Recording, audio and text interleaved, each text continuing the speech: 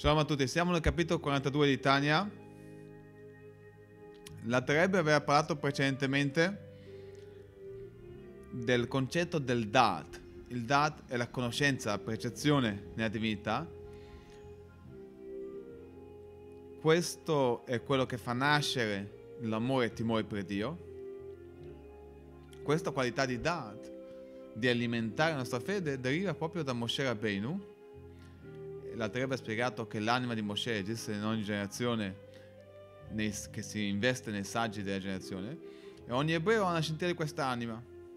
E dunque la Terebe continua dicendo, questa forza di connettere con un legame forte la tua mente a Dio, cioè ogni anima di Israele ha questa forza che deriva da Moshe Rabbeinu, dall'anima di Moshe Rabbeinu, di beata memoria.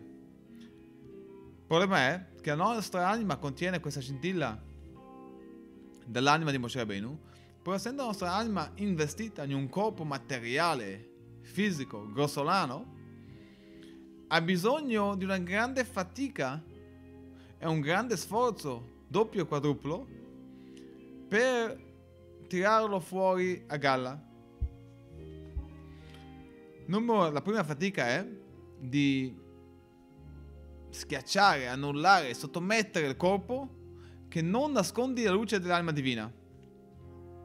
Come abbiamo detto precedentemente, citato dallo Zohar, lo Zohar dice un pezzo di legno che non si accende perché è troppo grosso, cosa si fa? Lo si spacca a pezzettini più piccoli.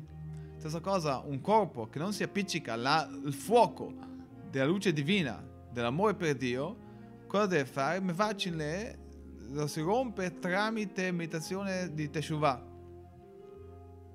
Avere il cuore rotto. Con pensieri di Teshuvah, di pentimento, da profondo del cuore, come spiegato lì